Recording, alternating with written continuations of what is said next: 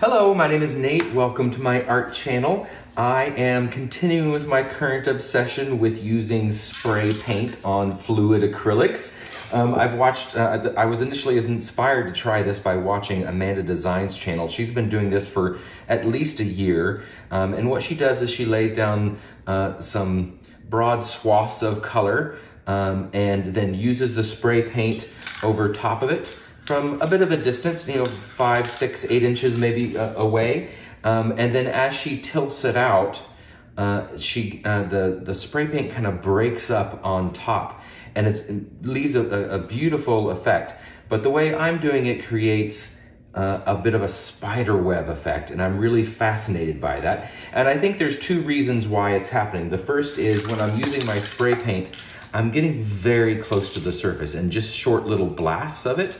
And when I do that, the force of the paint coming out of the can, the aerosol, um, uh, it churns the paint a little bit and the paint stays in a basic sh circle shape. Um, so I think that's one of the reasons that the, um, uh, the spiderweb effect is happening. Uh, but also, um, I'm adding some paint directly uh, in the middle of that circle that it creates and it fills up the paint underneath so it spreads out in a different way. And then I'm spinning it out. So I think the combination of those two or three things is what's giving me a completely different effect. So I'm gonna continue playing with that.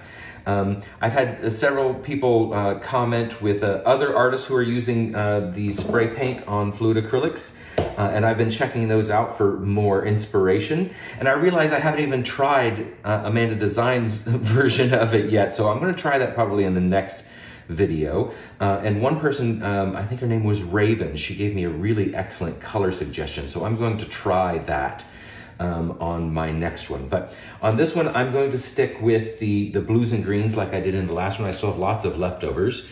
So um, to start off with, my base coat color is going to be these leftover whites. Um, there's, it's kind of a Franken mix of different colors. This is uh, a mix of Chromacryl, uh, acrylic essentials in white, titanium white. I know there is some, um, uh, Vallejo Pearl Medium in this also.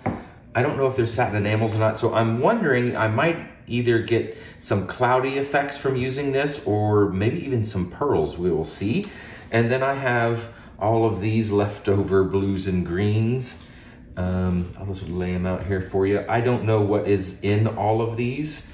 Um, this has some metallics in it. So does this. This one does not. And this was uh, Prussian blue that I've added some black to. Um, I have no idea what's in that. Uh, I believe this has some um, Amsterdam greenish yellow in it. Not sure. And I know that this one is uh, mostly um, Amsterdam turquoise green. Um, and instead of layering in puddles this time, I'm going to um, put down my base coat and then right in the center, I'm just gonna kind of drizzle the colors around, do a little chaos puddle, uh, and then I'm gonna spray paint around the outside edges.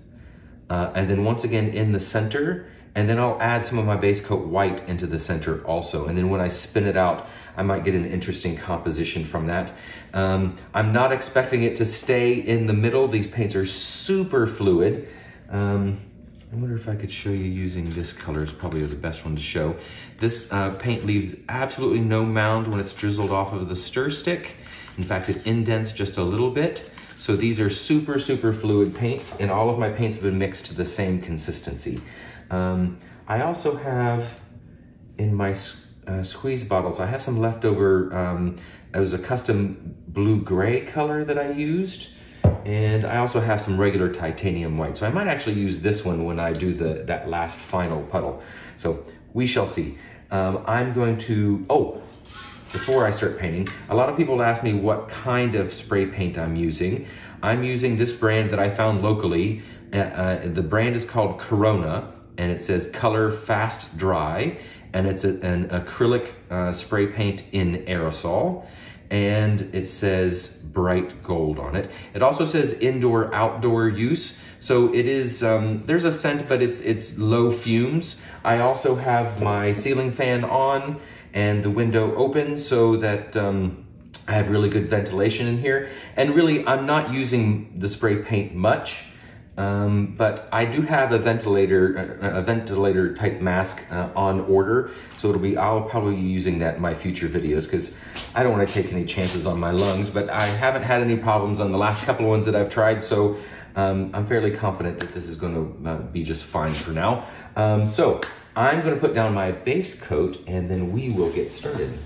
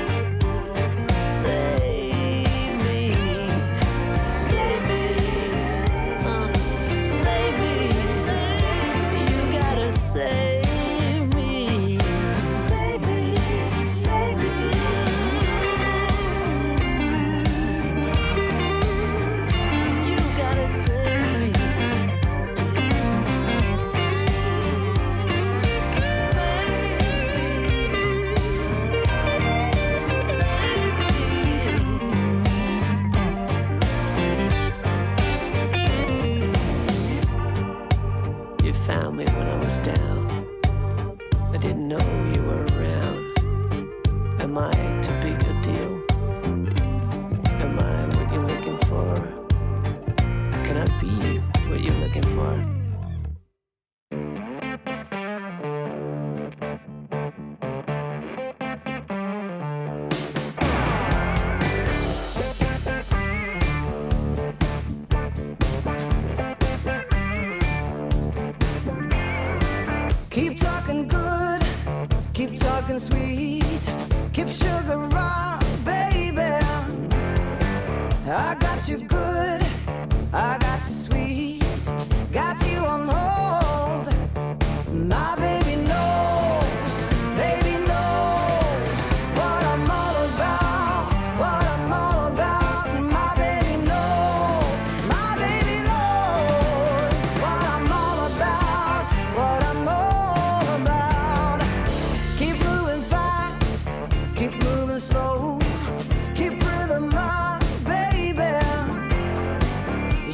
me good.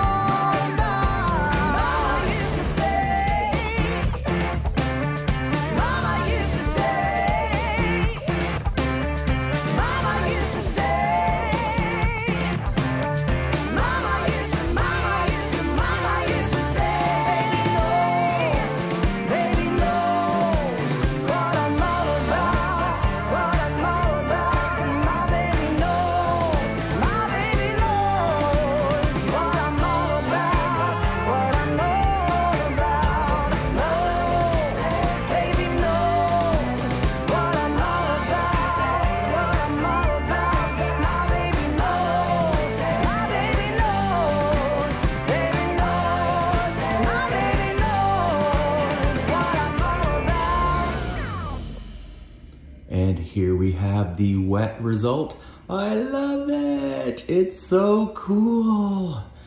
And very green for St. Patty's Day. St. Patty's, happy St. Patty's Day, everybody. I love this, this mix of blues and greens, and I didn't get any pearls. I'm not surprised, but I did get quite a bit of cloudiness um, in the mix of colors here. Isn't that beautiful? I love that. And look at these delicate little lacy spider webs all over the place. I love it. I love how intentional they are in each of their, their spaces with the white in the center. Look at that, isn't that cool? Um, I managed to um, adjust my canvas because it wasn't quite centered as it was spinning out. I managed to adjust my canvas uh, and uh, the part that I wanted to come off faster off the edge of uh, my spinner and that increases the centrifugal force in that direction. So uh, the part that I wanted to stay on the canvas stayed, and the part that I wanted to move faster moved. So, and look at the center. Oh, so pretty. This mix of colors is just gorgeous. I love it. I love the chaos of it, but there's structure as well. I think it's really quite pretty. I hope you like it too. Stay tuned for the dry result. And here we have our dry result. I love it. I showed this uh, a picture of this to my Patreon group and several people said that it looked like a bouquet. So I think I finally got something kind of floral here. That's what I was looking for. I love the dark, dark blue and black in that. That's beautiful and it really shows off the, the uh, lighter blues and greens. So let me take you in for some close-ups here. That center is beautiful. I love the way it dried. I love the way that the gold catches the, the light as you move around. But it dried exactly like it was before, but maybe just a little bit darker. Ah, that one right there is beautiful too. I love that. And that one. Yeah, I really love these uh, and this technique. I really need to come up with a name for this. What do you guys think of calling it a graffiti pour because I'm using spray paint? anyway, I think you, I hope you enjoyed this video. I really enjoyed making it. And uh, I hope you uh, give me a thumbs up and subscribe if you'd like to see more. And go mix up some paints and be fearless.